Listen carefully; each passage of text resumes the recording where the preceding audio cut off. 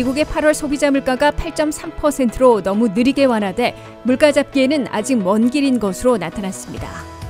8월 소비자 물가가 기대에 못 미치게 완화되자 9월 연준 회의에서 기준금리를 1%나 인상할 가능성이 높아지고 있습니다. 물가 급등에 타격을 받고 있는 노년층들이 잘 몰라서 정부 지원을 받지 못하고 있는 것으로 나타났습니다. 미국에서 중위 가구 소득은 2021년에 7만 달러에서 제자리한 것으로 조사됐습니다. 10월에 영주권 문호에서 취업이민, 비숙련직 승인일은 1년 진전된 반면 가족 이민은 제자리했습니다. 여러분 안녕하십니까? 워싱턴 뉴스 투데이입니다. 미국의 8월 CPI 소비자 물가가 8.3%로 너무 느리게 완화돼 물가 잡기에는 아직 먼 길인 것으로 나타났습니다.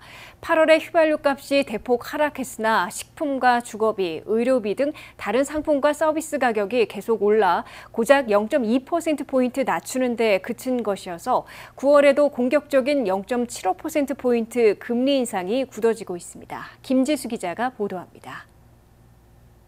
물가와의 전쟁에도 불구하고 미국의 물가 잡기는 여전히 먼 길인 것으로 우려되고 있습니다. 미국 대도시들의 물가를 보여주는 CPI 소비자 물가 지수는 8월에 8.3%로 집계됐다고 연방 노동부가 13일 발표했습니다. 이는 7월에 8.5%에서 고작 0.2포인트 낮아진 것으로 경제 분석가들의 예상치 8.0%에 못 미친 겁니다. 미국의 CPI 소비자 물가 지수는 6월에 9.1%까지 치솟았다가 7월에 8.5%로 진정됐지만 8월에는 8.3%로 소폭 완화되는 데 그쳤습니다. 8월 CPI 소비자 물가의 둔화폭이 기대에 못 미친 건 휘발유 값의 연속 하락에도 불구하고 식품과 주거비, 의료비와 새 자동차 등 다른 상품과 서비스 가격이 계속 올랐기 때문으로 분석됐습니다. 된다고 하면서 금리를 계속 뭐 올리고 있긴 한데 네, 네. 장을 보실 때 그런 거 도움이 된다라는 실감은 사실 안 나시죠? 예, 그 정도는 아직 전혀 물, 예, 현실적으로 느끼진 느낄 정도는 아닌 것 같아요. 네, 한 번 오른 게 아직까지도 내려가는 게 굉장히 시간이 좀 오래 걸리는 것 같네요.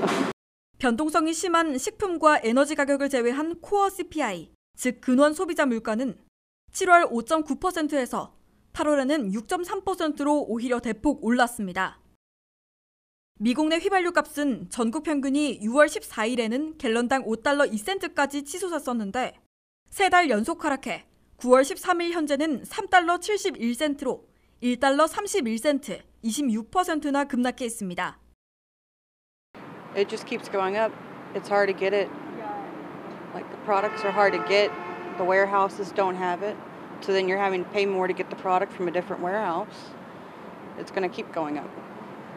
The gas is going down a little bit, but not a lot. 휘발유 값은 8월 한 달 동안에만 전년에 비해 10.6% 떨어졌습니다. 그러나 식품 가격은 8월에도 오름세를 지속해 전년에 비해 11.4%나 뛰었습니다. 전체 물가의 3분의 1을 차지하는 렌트비 등 주거비는 계속 인상돼 전년에 비해 6.2% 올랐습니다. 의료 서비스 비용도 8월에 전년보다 5.6% 인상됐습니다. 자동차의 경우 중고차는 전달보다 0.1% 내렸지만 새 차는 아직도 전달보다 0.8% 올랐습니다. 미국 중앙은행인 연방준비제도가 물가와의 전쟁에 나서 3월부터 7월까지 4차례에 걸쳐 기준금리를 2.25%나 올리고 앞으로도 공격적인 금리 인상을 예고하고 있음에도 물가 잡기에는 미흡한 것으로 드러났습니다. 연방준비제도는 CPI 소비자 물가 완화 폭이 기대에 못 미침에 따라 9월 20일과 21일에 열리는 9월 FOMC 정례회의에서도 세 번 연속으로 0.75포인트 금리를 올리는 자이언트 스텝을 계속할 것으로 기정사실화되고 있습니다.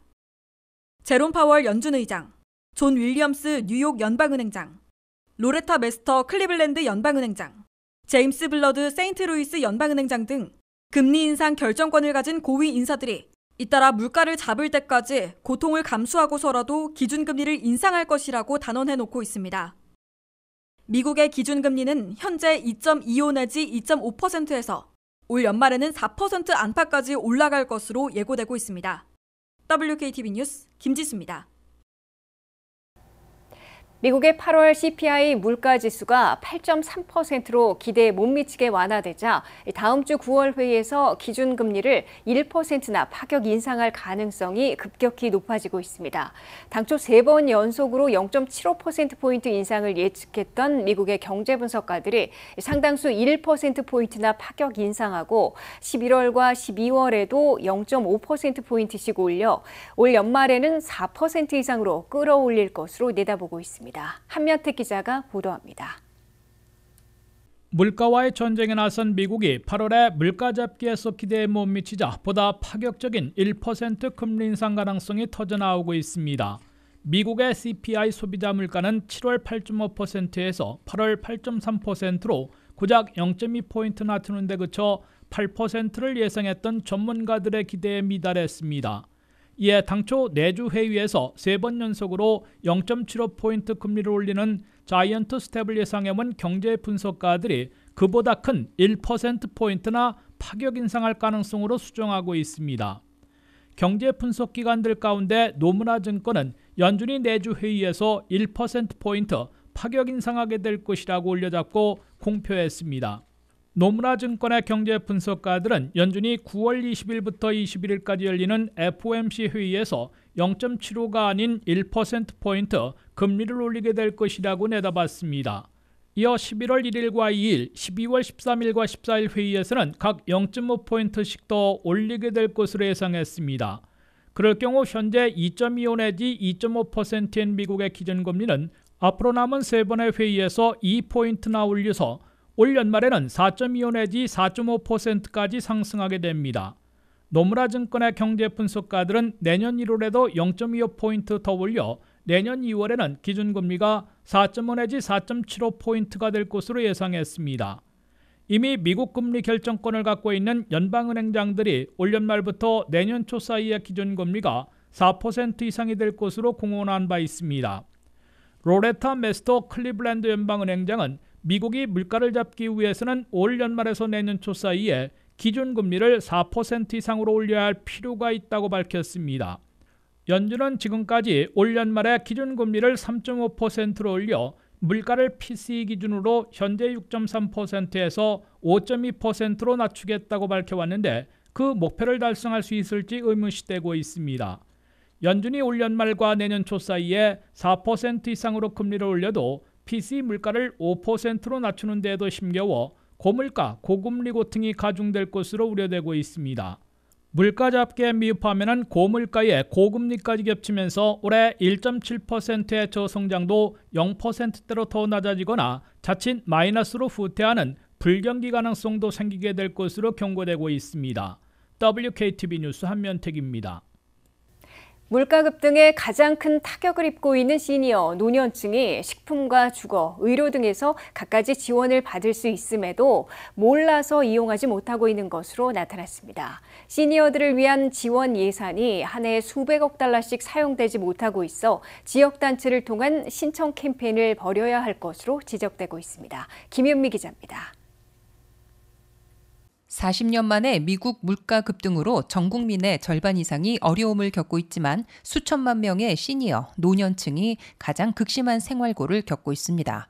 연방과 주정부, 로컬 정부에서 식품과 주거, 의료비와 유틸리티 비용 등을 지원하는 프로그램들이 많이 있지만 시니어들이 잘 알지 못하고 신청하기에 너무 복잡해 있는 지원도 받지 못하는 사태가 벌어지고 있다고 CBS 뉴스가 보도했습니다. 시니어들이 이용하지 못해 정부의 지원 예산이 매년 한 해에 수백억 달러씩 사용되지 않고 있다고 방송은 전했습니다.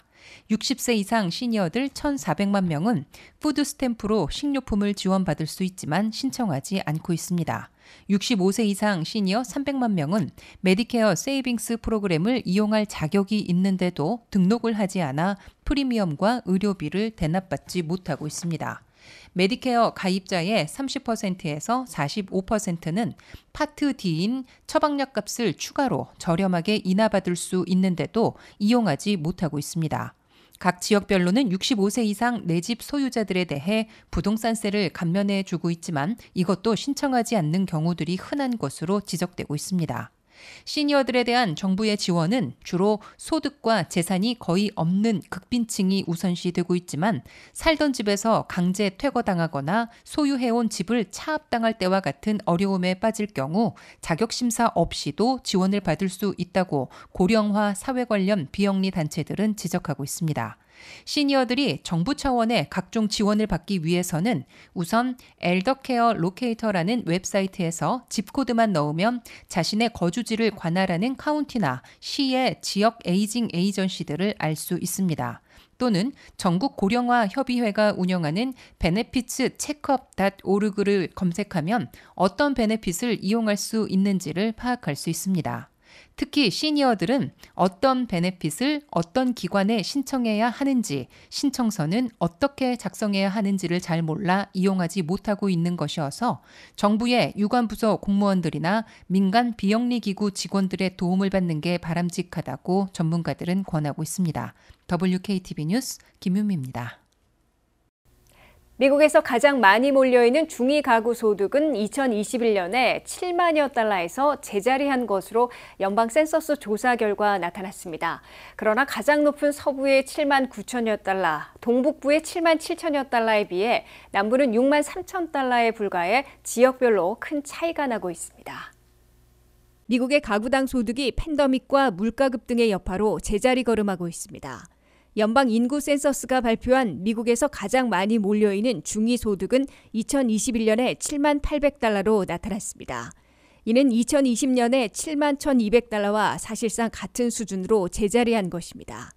하지만 미국 가구 소득은 지역별로 큰 차이가 나고 있습니다. 가장 높은 지역은 서부로 7만 9,400달러에 달했습니다. 이어 동북부는 7만 7,500달러로 뒤를 이었습니다. 중서부는 7만 1,100달러로 약간 차이가 벌어졌습니다. 남부 지역은 6만 3,400달러에 그쳤습니다. 최고인 서부 지역과 최저인 남부 지역은 무려 1만 6천 달러나 격차가 나고 있습니다. 미국의 빈곤율은 2021년에 전년과 비슷한 11.6%로 3,790만 명인 것으로 센서스는 집계했습니다. 현재 4인 가정의 소득이 2만 7,740달러 이하이면 빈곤층으로 분류되고 있습니다. 아동 빈곤율은 등락을 거듭하고 있습니다. 아동 빈곤율은 팬데믹 이전 9.7%에서 2021년에는 5.2%로 급락했는데 Child Tax Credit, 즉 부양자녀 세제 혜택을 현금으로 지급한 덕분인 것으로 나타났습니다. 그렇지만 Child Tax Credit이 끝났기 때문에 미국의 아동 빈곤율은 과거로 되돌아갈 것으로 예상되고 있습니다.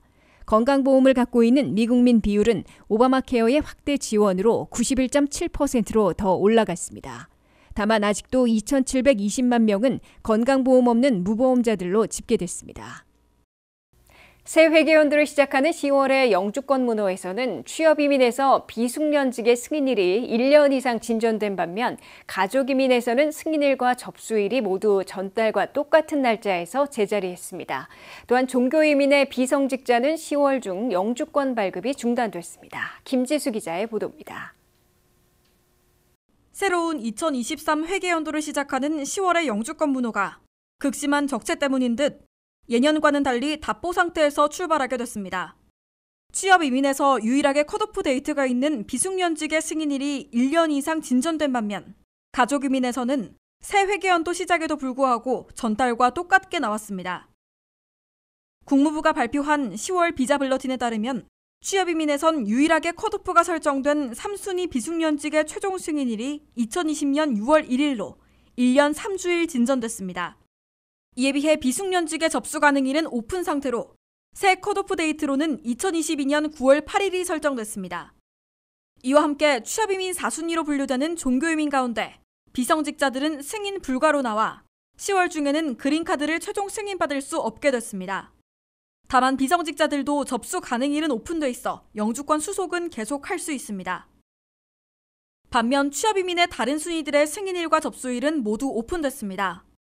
이로써 취업이민 수속자들은 두 범주에서 green card를 받지는 못하지만 모든 순위에서 이민 petition 청원서만 승인받으면 마지막 단계로 영주권 신청서, work permit 신청서, 사전 여행 허가서를 동시에 접수시키고 work permit 카드부터 잇따라 승인받을 수 있습니다.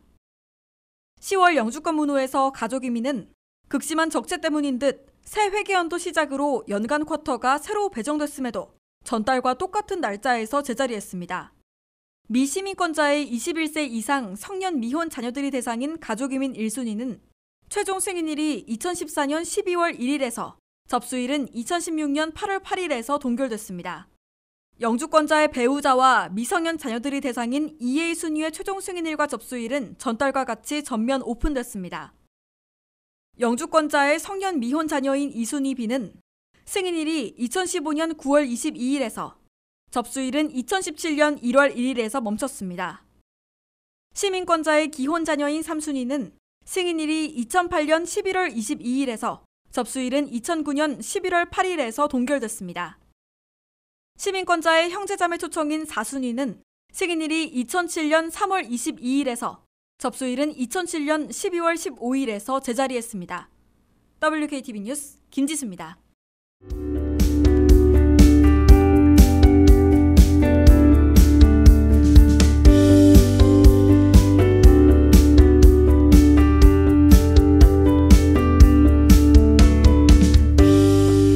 워싱턴 뉴스 투데이를 마치겠습니다. 시청해주신 여러분 고맙습니다.